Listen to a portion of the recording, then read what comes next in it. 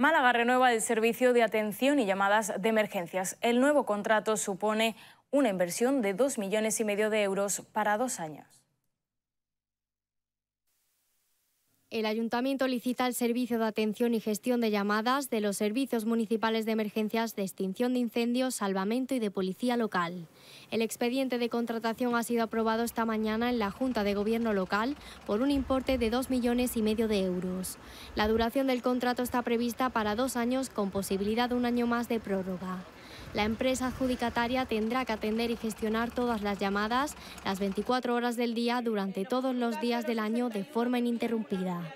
Además, se deberán reforzar los servicios ante situaciones tanto de fenómenos meteorológicos adversos como en celebraciones de fiestas y eventos de gran afluencia. Ante una emergencia concreta, pues de lluvias, de algún tipo de problema que surja en la ciudad, pues también tendrían eh, la obligación de reforzar esos servicios para, para dar el buen servicio que, que se merecen los ciudadanos.